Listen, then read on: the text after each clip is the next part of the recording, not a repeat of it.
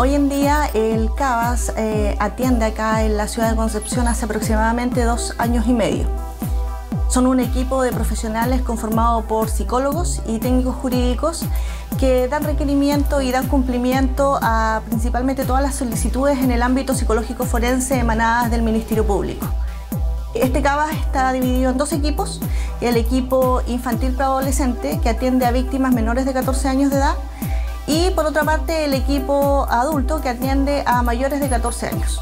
En el CABAS Regional Concepción, si bien es cierto, inicialmente recibió eh, requerimientos de la octava región, actualmente también recibe requerimientos de la séptima, novena y décima región del sur de Chile.